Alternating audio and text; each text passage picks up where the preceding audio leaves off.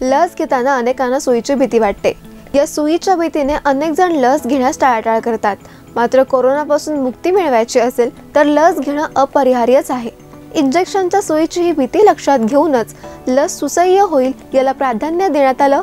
त्या दृष्टीनं प्रयत्नशील असलेल्यांनी आता एका पॅचची निर्मिती केली आहे. ज्यामुळे लस घेताना सुई टोचण्याची गरज भासणार नाही आणि लस घेणं सहज शक्य होईल. यामुळे लोकांच्या मनातील लसीची भीती आणि सुईच्या वेदना कमी होण्यास मदत होणार आहे. सुयांच्या भीतीमुळे दहा टक्के लोक लस घेत नाहीत. एका सर्वेक्षणात ते समोर आलं होतं. त्यामुळे वॅक्सिन पॅच तयार करण्यात आला. पाहुयात कोणी केला वॅक्सिन पॅच विकसित. अमेरिकेचे स्टॅनफोर्ड विद्यापीठ आणि नॉर्थ कॅरोलायना विद्यापीठ यांनी एकत्र येऊन वॅक्सिन पॅच तयार केला आहे. लवकरच याच्या नैदानिक चाचण्या सुरू होतील. शास्त्रज्ञांनी या वॅक्सिन पॅचच्या नैदानिक चाचण्यांसाठी मंजुरी दिली. थ्री डी प्रिंटेड वॅक्सिन पॅचमुळे वॅक्सिन घेणं अधिक सोपं होणार आहे.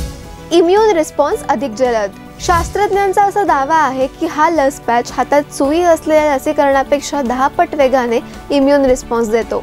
जेव्हा लस पॅचच्या मदतीने शरीरात पोहोचते तेव्हा टी सेल्स आणि अँटीबॉडीचा रिस्पॉन्स हातावर घेतलेल्या लसीपेक्षा वेगवान असतो संशोधक म्हणतात या पॅचच्या मदतीने ही लस थेट त्वचेच्या रोगप्रतिकारक पेशींपर्यंत पोहोचवता येते आणि लस काम करण्यासाठी ही सर्वोत्तम स्थिती आहे.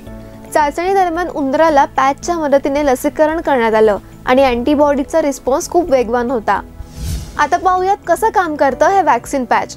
वॅक्सिन पॅचवर एक थ्री डी प्रिंटेड मायक्रोनिडल लावण्यात आले आहेत. हा पॅच त्वचेवर ठेवून त्यामागे लस टोचली जाते.